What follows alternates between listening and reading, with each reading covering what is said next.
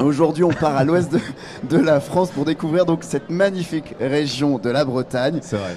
Voilà. Magnifique cette région. la Bretagne, une terre de légende, le berceau des aventures du roi Arthur, la forêt de Brocéliande, c'est une région bercée par les histoires et aussi l'une de mes préférées. Pourquoi? Eh bien parce que là-bas vit une femme exceptionnelle, ma grand-mère. Et oui, Bonjour mamie Jacotte. qu'on Alors, embrasse. Rien que pour ça, eh bien merci la Bretagne. Et, euh, et on embrasse donc Mamie Jacotte. On adore votre grand-mère, justement, mais on est là aussi pour parler de la région un petit peu. Bah oui. On, va, on va se concentrer. Mais sauf qu'on n'aurait pas assez d'une seule émission pour énumérer les beautés de la Bretagne. Quimper, Brest, Lorient, Paimpol, que de magnifiques équipes de Ligue 2 euh, dans un si beau territoire. C'est exceptionnel. Sa chambre. Eh oui. Et au niveau des monuments historiques, les, forni- les fortifications sont euh, légion, comme avec les remparts de Saint-Malo, d'où s'élance euh, la fameuse euh, route du Rhum, le centre historique de Vannes, magnifique également, le château de Fougères, ou encore le centre-ville de Rennes et ses punks à chiens. Bref, de quoi ravir Stéphane Bern. Alors là, on a vu euh, un peu de patrimoine. Quid des paysages? Eh bien, si vous aimez euh, regarder au loin vers l'océan avec un air mystérieux, c'est la région qu'il vous faut.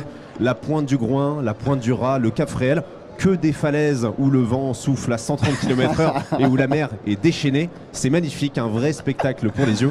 Et que ce soit dans les Côtes d'Armor, le Finistère, l'Ille-et-Vilaine ou le Morbihan, la Bretagne jouit d'une nature encore assez sauvage et de paysages relativement préservés par le tourisme de masse. Et ça, c'est assez rare pour le souligner. Et Bastien, je sais que vous êtes un gros gourmand. Euh, Ouais. D'ailleurs, vous avez hâte, vous euh, aimez les huîtres. Euh, Qu'est-ce qu'on mange de bon chez les Bretons? Alors, principalement du beurre, avec parfois un peu de beurre, mais toujours accompagné de beurre, bien sûr. Alors, si vous voulez faire un régime, hein, vous l'aurez compris, n'allez pas en Bretagne, Kouniaman, crêpes, phare breton, caramel. C'est bon, mais c'est quand même très très riche. Euh, personnellement, Oh, un poil. un poil. Personnellement, je suis plutôt salé. Alors, euh, avec une bonne galette saucisse, euh, c'est aussi très bon. Et puis, bien sûr, il y a l'océan Atlantique qui offre un vivier exceptionnel à la gastronomie bretonne.